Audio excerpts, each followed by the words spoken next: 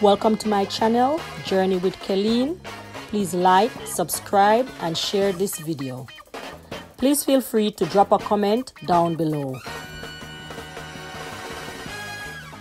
Please do not take anything I say as medical advice. I am not a doctor or do I work in any medical field. I just want to share my journey and my personal experiences. Hopefully, I can inspire or motivate someone out there. In this video, I want to look at the causes and symptoms of hydrocephalus in kids, the risk factors, and some of the complications that are associated with it. As you know, my child was diagnosed with severe congenital hydrocephalus for those who don't know, hydrocephalus is a buildup of cerebrospinal fluid or CSF in the hollow places inside the brain. Hydrocephalus has a lot of symptoms. In my previous video, I touched on the symptoms. However, in this video, I'm just gonna give a refresh of the common signs, the physical signs and symptoms, and the behavioral and cognitive signs.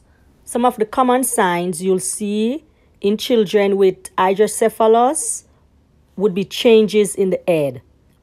An unusual large head, a rapid increase in the size of the head, a bulging or a tense soft spot, Okay, so the physical signs and symptoms of hydrocephalus would include vomiting, sleepiness, poor feeding, deficits in muscle tone and strength, poor growth, unstable balance, even seizures can occur. There are many physical signs or symptoms associated with hydrocephalus. Now, on to the behavioral and the cognitive changes. You'll have irritability, you'll have change in personality, decline in school performance. You can even have delays or problems with previously acquired skills such as walking or talking. Matthew sometimes would say a word and then immediately after you would not even remember it. Sometimes months after before he even says the word again. Now we're going to look at the causes of hydrocephalus. Remember guys, hydrocephalus is caused by an imbalance between how much cerebrospinal fluid is produced and how much is absorbed into the bloodstream. Cerebrospinal fluid is salt water that's made inside the ventricles.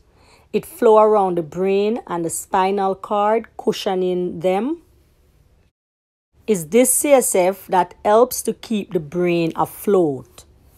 Technically, it allows our heavy brain to float within the skull. That's what it does. It takes nutrients to the brain and it also takes away waste from the brain. It is then absorbed into our bloodstream and new or fresh CSF is produced. Excess cerebrospinal fluid in the ventricles occurs in one of the following you have obstruction, poor absorption, and overproduction of this fluid. Let us look at obstruction. The most common problem is a partial obstruction of the normal flow of cerebrospinal fluid, either from one ventricle to another or from the ventricles to other spaces around the brain. Poor absorption. This one is less common. It is a problem with a mechanism that enable the blood vessels to absorb cerebrospinal fluid. This is often related to inflammation of the brain tissues from disease or injury. Last one is overproduction. This one occurs rarely. Basically, cerebrospinal fluid is created more quickly than it can be absorbed. Now let us look at some of the risk factors associated with hydrocephalus. There is no one cause of hydrocephalus. It may be linked to genetics defect or a complication of another disorder. Children may also develop hydrocephalus after birth as a complication. For example, premature birth can lead to hydrocephalus. In many cases, the exact event leading to hydrocephalus is unknown. However, a number of developmental or medical problems can contribute or trigger hydrocephalus. Now, if you're wondering who gets hydrocephalus, a child can be born with hydrocephalus.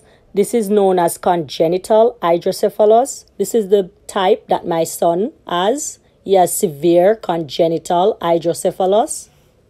You can get hydrocephalus later in life.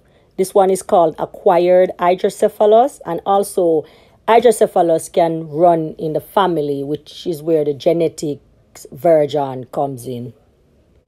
Hydrocephalus present at birth or shortly after birth can lead to abnormal development of the central nervous system that can obstruct the flow of cerebrospinal fluid. Bleeding within the ventricles, a possible complication of premature birth. Infection in the uterus during pregnancy, such as rubella or syphilis, that can cause inflammation in the fetal brain tissues. Others include tumors of the brain or spinal cord, central nervous system infections, such as bacterial meningitis, bleeding in the brain from a stroke or head injury or other traumatic injury of the brain. I would like to give you some information about the complications of hydrocephalus. Long-term complications of hydrocephalus can vary widely and are often difficult to predict. If hydrocephalus has progressed by the time of birth, it may result in significant intellectual, developmental, and physical disabilities. Less severe cases, when treated appropriately, may have few, if any, serious complications. Now, the severity, though, of the complications, this depends on three things the underlying medical or developmental problems, the severity of initial symptoms, and three, timeliness of diagnosis and treatment. Hydrocephalus is diagnosed by a doctor. The doctor would ask about the symptoms. They'll do exams.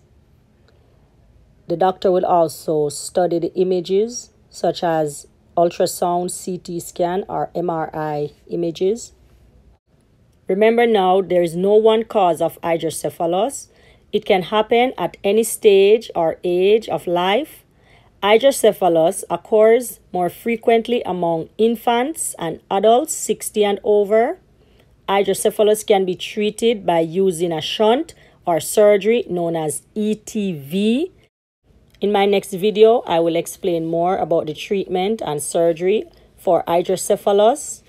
Thank you guys for watching this video. I appreciate it. Please like, subscribe, and share my content.